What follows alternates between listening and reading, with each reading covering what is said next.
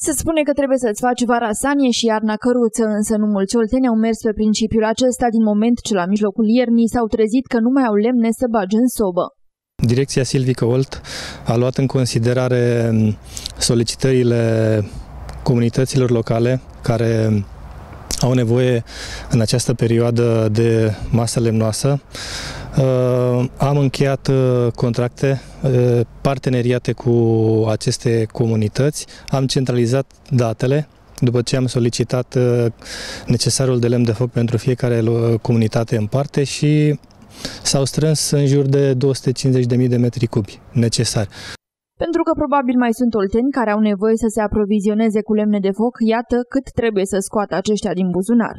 Prețurile pe care Direcția Silvică le practică sunt între 280-350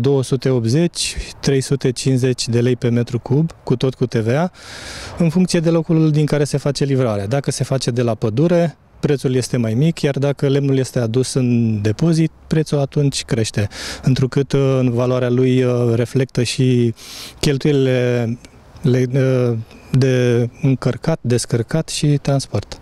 Față de anii trecuți, cantitatea de masă lemnoasă pe care direcția silvică o are scoasă la vânzare este puțin mai mare.